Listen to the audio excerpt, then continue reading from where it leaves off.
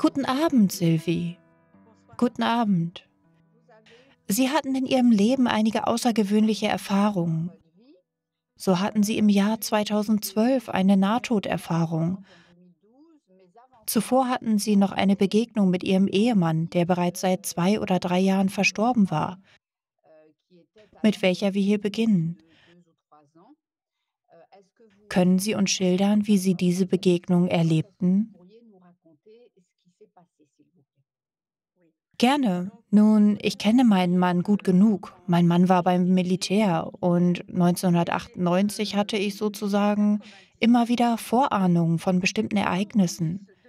Am 27. Februar 1998 dann richtete er im Kellerbereich das Auto her, wobei ich mit der Logistik befasst war. Er kam dann zu mir, nannte mich wie immer bei meinem Kosenamen KD und sagte, KD, hast du alles vorbereitet?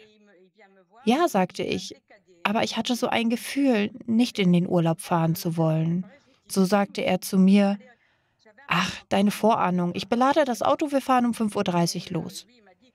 Samstagabend kamen wir an. Sonntag früh buchten wir unsere Skilifte, kümmerten uns um Skier, die Skischuhe und all das.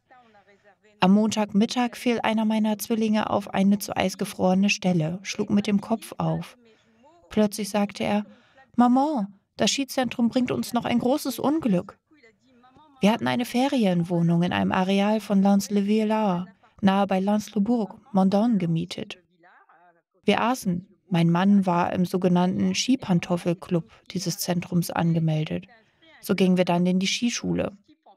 Um 17 Uhr waren wir verabredet um unsere Skier und alles andere zum Auto zu bringen. Er stieg die Treppe hinunter und ging, kam jedoch zurück und sagte, OKD, ich vergaß dir einen Kuss zu geben. Er küsste mich. Es war ein langer Kuss, eben kein Kuss, als ob wir uns eine Stunde später sehen. Er ging die Treppe hinunter und sagte noch, leb wohl. Ich dachte, warum leb wohl? Nun gut, meine Kinder waren beim Skilehrer in der Skischule. Man sah dann einen Hubschrauber, der über unsere Köpfe hinweg flog und eine nun sogenannte Trage transportierte. Der Skilehrer sagte lachend, noch einer, der sich ein Bein gebrochen hat. Um 17 Uhr war ich beim Auto und fand dort einen Kleinbus der Polizei vor. Ich wurde gefragt, Madame Ademort? Ich bejahte und wusste sofort, dass meinem Mann etwas zugestoßen war. Er wurde nach Moudon in die Leichenhalle gebracht. So kam er dann als Leichnam zurück und wurde beerdigt. Ich konnte zwei Jahre nicht in meinem Bett schlafen, weil er für mich eben nicht tot war. Mein Mann benutzte seit seinem 18. Lebensjahr immer dasselbe Parfüm, Couros, von Yves Saint Laurent, auch kurz bevor er starb. Mein jüngerer Sohn, der damals siebeneinhalb Jahre alt war, leerte einmal das wenige Courant, das noch über war, aus und wurde dafür von seinem Vater ausgeschimpft. Nun, ich schlief zwei Jahre lang auf dem Sofa, entschloss mich dann aber irgendwann wieder in meinem Bett zu schlafen. Eines Tages dann, ich befand mich aufgerichtet vor meinem Bett, war mein Mann da. Er war sehr muskulös, hat viel Sport getrieben und da stand er nun, vor mir. Er trug seinen blauen Morgenmantel aus Pyrenäenwolle, den ich gekauft hatte und der hier im Brustbereich offen war. Und da am Ende des Tages der eine Unterschenkel doppelt so dick war wie der andere, trug er weite Boxershorts aus locker leichtem Gewebe. Ich erinnere mich an die Farbe der Shorts. Rot mit Hibiskusmuster. Tahitianische Shorts. Mein Mann stammte aus Martinique wurde aber in Toulon geboren. Und da stand er nun vor mir. Und ich sagte zu ihm, Christian, warum hast du mich und die Kinder verlassen? Wir liebten dich so sehr, warum? Wie soll ich mit der Hausarbeit und all dem fertig werden? Wie soll ich all das nur schaffen? Nun war er da, lächelte mich an, so wie er zu lächeln pflegte. Ich sah sogar seinen Zahn. Er hatte eine Krone. Seine Prämaloiren waren aus Silber. Ich erkannte seinen Geruch. Er sagte zu mir mit einer Stimme, die weit, weit weg war, leise, gedämpft. Ich hatte keine Wahl. Du musst wissen, dass ich dich nie verlassen hätte, dich und die Kinder, aber ich hatte keine Wahl. Ich werde immer für dich da sein. Ich hatte keine Wahl. Ich sagte, wie soll ich das nur machen? Er antwortete mir, ich hatte keine Wahl. Nun lehnte ich meinen Kopf an seine Schulter, so wie ich es immer getan habe. Ich legte meine Hände um seine Taille, spürte die Wärme seiner Haut. Es war wirklich sein Körper und nichts Virtuelles. Das spürte ich. Ich nahm ihn in meine Arme und fragte ihn, warum verlässt du mich? Und er antwortete, ich hatte keine Wahl, KD. Niemals hätte ich dich und die Kinder verlassen. Dann ging er. Ich ging zu Bett und am nächsten Tag dachte ich, ich hätte geträumt. Aber als meine Kinder ins Zimmer kamen, rochen wir Kuros, das Parfüm meines Mannes. Und dann sagte ich mir, so war es doch kein Traum. Er war es, den ich sah, mein Mann. Und nun verdanke ich Ihnen, Katharin, dass Sie mir etwas gesagt haben, wo es bei mir Klick gemacht hat. Nämlich von 1998 bis 2023. Ich habe mir die Berichte angesehen von all den Menschen, die im Koma waren oder eine Nahtoderfahrung hatten. Als diese Menschen in ihren Körper zurückkehrten, funktionierten Gehirn und Herz wieder. Mein Mann pflegte beim Wintersport, also beim Skifahren und Pantoffelskifahren zusammen mit der Gruppe zu dem Ort La Femas hinaufzusteigen. So heißt der Ort, wo diesmal der Sessellift kaputt war, sodass er 10 oder 15 Meter zu gehen hatte, um entweder den Sessellift oder den Schlepplift zu erreichen. Dabei ist er wegen eines Hämoperikats, eines blutenden Gefäßes im Herzbeutel zusammengebrochen. Das Herz wurde dabei zusammengedrückt und explodierte. Und jetzt verstehe ich auch, wenn er sagt, ich hatte keine Wahl, denn sein Herz war explodiert. Um wieder in den Körper einzutreten, müssen Gehirn und Herz funktionieren, so wie ich das aufgrund all der Nahtoderfahrungen verstanden habe. Er konnte nicht wieder zur Erde zurückkehren. Sein Herz funktionierte nicht mehr, es war explodiert. Nun, nach dem Tod meines Mannes ging ich auch weiterhin zum Wintersport. Meiner Kinder wegen habe ich meine Lebensgewohnheiten nicht geändert. Ich fuhr nach La Fermas, wo er vermutlich gestorben ist. Dort setzte ich mich hin und weinte, jedoch empfand ich nichts dabei. Eines Tages, es war im Sommer, traf ich jemanden, der nur zu mir sagte, lass uns doch nach La Fermas hinauffahren. Auch müssen wir dort noch Eier holen. Du bleibst in La Fermas und ich gehe mit deinen Jungs runter zum Radfahren. Und dann saß ich da mit meiner Rose und sprach zu meinem Mann.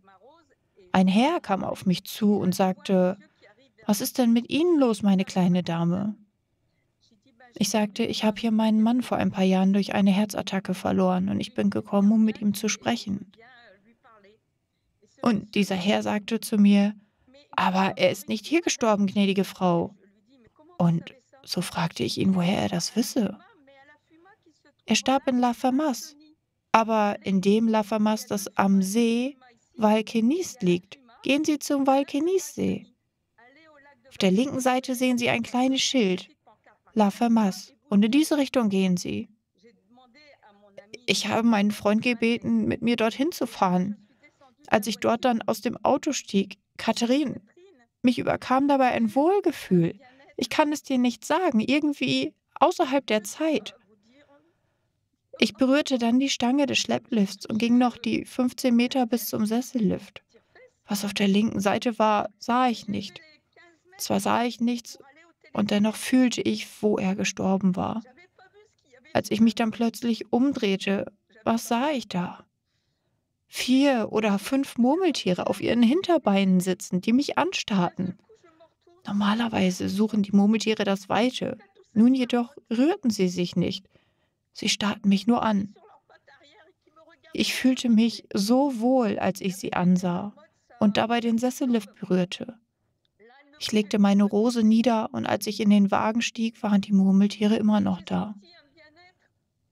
Sogar mein Freund fand das damals erschreckend. So fuhr ich dann los. Als mein Mann starb, fing mitten in der Nacht mein siebeneinhalbjähriger Sohn an zu schreien und sagte, sein Vater habe ihn geküsst, auf dem Kopf das Kreuzzeichen gemacht. Er traute sich nicht mehr dort zu schlafen.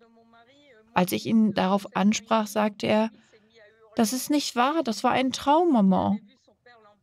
Warum hast du ein Jahr lang bei mir geschlafen? Aber er will es nicht zugeben. Ich glaube, er baut sich einen Schutzwall auf. Vor dem Tod meines Mannes spielten meine Kinder Musik. Ein Musiklehrer kam ins Haus, um ihnen Unterricht zu geben. Nach dem Tod meines Mannes unterstützte ich das weiterhin. Er war der letzte französische Herztransplantierte. Er war alt, nun ist er verstorben. Dienstags kam er. Ich verwöhnte ihn mit Kuchen und er trank einen Fruchtsaft. Als wir so auf dem Sofa saßen, sahen wir plötzlich jemanden von der Tür zum Treppenaufgang gehen. Ähnlich einer Wolke, die aus einem Schnellkochtopf kommt und aufwärts steigt. Diese Wolke hier bewegte sich aufwärts. Ich ging nach oben und dort, ganz oben, wurde mir kalt, so richtig kalt, als hätte man mich in Eiswasser getaucht. Ich pustete und es dampfte als würde man bei Kälte draußen sprechen. Seit jenem Tag gehe ich nach oben, dessen gewahr, dass jemand dort oben ist. Ich habe vor nichts mehr Angst. Sylvie, vielen Dank, dass Sie diese Erfahrung mit uns geteilt haben. Am 21. Februar 2012 dann haben Sie eine weitere Erfahrung gemacht, und zwar eine Nahtoderfahrung. Könnten Sie uns schildern, wie es dazu kam und wie Sie das erlebten? Seit 2008 habe ich große Rückenprobleme. Am Morgen des 21. Februar 2012, da war der Leidensdruck so groß, dass ich ein Medikament einnahm. Myrolexans, das die Muskeln entspannen soll. Ich ging in gekrümmter Haltung, solch starke Schmerzen wollte ich meinen drei Söhnen nicht zeigen. So nahm ich dann am Mittag noch eine zweite Tablette. Ich erinnere mich, dass ich ein Huhn mit Pommes gekocht habe. Mein Ex-Freund saß mit meinen Kindern am Tisch. Ich habe Pastete, das Huhn mit Pommes aufgetragen, sagte dann etwas zu meinen Kindern, wovon ich nicht weiß, ob meine Worte verständlich waren oder nicht. Ich sagte, mir geht es nicht gut, ich gehe jetzt ins Bett. Ich ging ins Schlafzimmer, fiel zu Boden, wobei meine Zwillinge große Angst bekamen, die gleiche Szene wie bei ihrem Vater noch einmal zu erleben. Sie riefen die Feuerwehr. Drei Feuerwehrmänner waren im Einsatz. Ich lag auf dem Boden. Ein Feuerwehrmann, ein Oberadjutant, klopfte mein Gesicht ab, gab mir ein paar Klapse und sagte, bleiben Sie bei uns, Frau Ademau, nicht wegbleiben. Irgendwann spürte ich die Klapse nicht mehr. Ich befand mich auf einem engen Flur mit dicken Wänden auf beiden Seiten. Verstehen Sie, es war keine Watte, kein Schnee und auch keine Zuckerwatte. Ich kann Ihnen nicht erklären, was es war. Es war weiß, ohne weiß zu sein. Mir war, würde es meine Hand berühren, als ginge meine Hand dann hindurch. Es war seltsam. Nun zwei große Wände, und auf dem Boden war ein dicker weißer Teppich. Ich bewegte mich, schob mich weiter vorwärts, hatte jedoch kein Gewicht. Es war, als wäre ich ein Blatt, und dennoch schritt ich voran. All das war irgendwie diese Geräuschlosigkeit. Und auf jeder Seite eine Wand. Ich bewegte mich ganz sanft. Und in der Ferne, sehr weit weg, sah ich einen Lichtkreis. Wie soll ich dieses Licht erklären? Es ist nicht das Licht, das wir sonst sehen. Es ist ein Licht, das weder weiß noch gelb ist, noch... Es ist ein Licht, das dich einlädt, zu ihm zu kommen.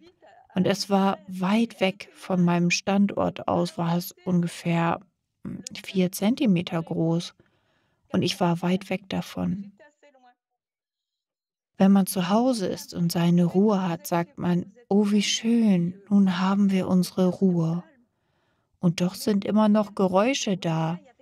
Aber dort war nichts. Nichts. Ich fühlte mich wohl, nichts tat mir weh. Dann spürte ich die Klapse wieder und hörte dann rechts von mir den Feuerwehrmann sagen, nicht wegbleiben, nicht wegbleiben, Frau Ademau, bleiben Sie bei uns. Ich spürte den Klaps, aber es tat nicht mehr weh. Und dann bewegte ich mich sanft auf dieses Licht zu. Und ich fühlte mich unfassbar wohl. Kein Leiden mehr. Nichts tat mir mehr weh. Und ich fühlte mich so wohl, eingehüllt und entspannt. Und ich bewegte mich voran. Irgendwann auf meiner rechten Seite sah ich eine kleine Stabfigur, ähnlich einer Zeichnung von drei bis vierjährigen Kindern. Ein Kreis mit einem Stock, zwei Beinen und zwei Armen genau links von diesem Licht. Ich ging weiter, sah diese Figur. Ich sah nicht meine kleine Schwester, die mit 16 Jahren starb, noch Mutter und Vater, nicht meine Freundin, meinen Mann, keinen Schwiegervater, keine Großeltern, keinen von ihnen sah ich, nur diese kleine Stabfigur. Links von diesem Licht, die sich nicht rührte. Sachte und in all dieser Ruhe ging ich weiter, als ich auf einmal hörte, Nein. Es war nicht das Nein eines Mannes, einer Frau oder eines Kindes. Ich werde nie wissen, was es war. Seit 2012 versuche ich zu ergründen, wer diese kleine Stabfigur ist. Und nun, während ich mit ihnen sprach, wurde mir etwas klar. Im Jahr 1985 bekam ich Zwillinge. Ich hatte zwei Fehlgeburten. Und als ich entbunden hatte, kam der Arzt und die Hebamme zu mir in den Kreissaal. Auch mein Mann war da. Sie fragten mich, wussten Sie, dass Sie wieder Zwillinge erwarten? Ich sagte nein. Und der Arzt antwortete, einer der Zwillingsbrüder blieb in der Plazenta. Es waren eineiige Zwillinge. Er muss im dritten Schwangerschaftsmonat gestorben sein. Als er starb, blieb er in der Plazenta stecken. Ich fragte ihn, hätte ich deshalb sterben können, etwa an einer Folgeerkrankung? Er sagte, bedenken Sie, in der Plazenta steckt einer der Föten. Wenn Sie diesen Fötus verloren hätten, hätten Sie auch Ihren Sohn verloren, denn Sie waren eineiige Zwillinge, also ein einziges Behältnis, eine Plazenta für zwei. Seit dieser Nahtoderfahrung habe ich nach dieser kleinen Stabfigur gesucht, was das wohl sein könnte. Ich wollte diesem Kind einen Namen geben, auch wenn es nicht geboren wurde, und ich nannte es Jocelyn. Als ich den 33. Geburtstag meines Sohnes feierte, gratulierte ich in Gedanken auch ihm zum Geburtstag, weil er doch noch bei mir ist. Ich glaube, dass dieser kleine Hamster ein Kind war, das nicht geboren wurde, weil es Nein sagte, um seinen Bruder zu beschützen, indem es sich sagte, ich gehe nicht ins Licht, weil mein Bruder, mein Zwillingsbruder mich braucht. So wachte ich auf, aber nicht so, wie manche berichten, die in den Körper zurückgekehrt sind. Ich bin einfach aufgewacht. Ich bekam einen Klaps und spürte den Schmerz wieder. Auch die Schmerzen in meinem Rücken. Der Feuerwehrmann sagte, das war's, sie ist wach. Schlafen Sie nicht wieder ein, Madame. Folgen Sie mir. Sie schlafen jetzt nicht mehr. Sie sind bei mir. Dann kam ich zurück ins Krankenhaus. Mein Erlebnis behielt ich für mich. Versuchte aber auch mit meinen Kindern darüber zu sprechen. Aber meine Kinder sind Wissenschaftler. Sie glauben nur das, was sie sehen. Somit musste ich das alles alleine mit mir herumtragen. Ich wollte mit jemandem darüber sprechen, war bei zwei Psychiatern, auch bei einem Psychologen, denn so langsam fragte ich mich, ob ich verrückt bin. Alle drei, auch mein Hausarzt, sagt mir, dass ich normal bin, dass ich nur eine Frau bin, müde geworden vom Leben und ihrer Kindheit, denn ich hatte keine so gute Kindheit. Wohl war ich müde, aber nicht verrückt, nicht bipolar, nichts davon. Als ich dann ihre Videos sah, begriff ich, dass ich nicht allein war und sagte mir, nun endlich wird dir klar, Sylvie, was du da erlebt hast. Es ist eine Nahtoderfahrung. Zudem hast du auch Christian gesehen. Vielen Dank, Sylvie, vielen Dank. Sie sagten mir kurz zuvor, dass Sie, glaube ich, vor nichts mehr Angst hätten. So haben Sie wohl auch keine Angst mehr vor dem Tod? Nein, ich habe keine Angst mehr vor dem Tod, weil ich weiß, was dahinter steckt. Schon jetzt habe ich vor nichts mehr Angst, auch nicht vor dem Tod. Das Einzige, wovor ich Angst habe, ist, dass ich bis zu meinem Tod leiden muss. Ich will nicht leiden, bevor ich sterbe. Das ist verständlich. Und hierzu weiß ich noch etwas zu sagen. Meine Mutter starb an Darmkrebs im Endstadium, erkrankte sie an Knochenkrebs. Meine Mutter war Pikadin und am selben Tag, als sie ins Koma fiel, sagte sie auf Pikadisch zu ihrem Vater, den sie verehrte, Papa, spann die Pferde an. Ich komme, spann die Pferde an, gleich bin ich da. Das bedeutet, Papa, spann die Pferde vor den Flug, ich komme. Sie waren Landwirte. Ich glaube, dass sie ihren Vater sah und ging. Kurz darauf ist sie dann gestorben. Ich habe keine Angst vor dem Sterben, ganz ehrlich. Ich habe keine Angst mehr vor dem Tod. Sylvie, haben Sie in Ihrem Leben eine Religion praktiziert oder eher nicht?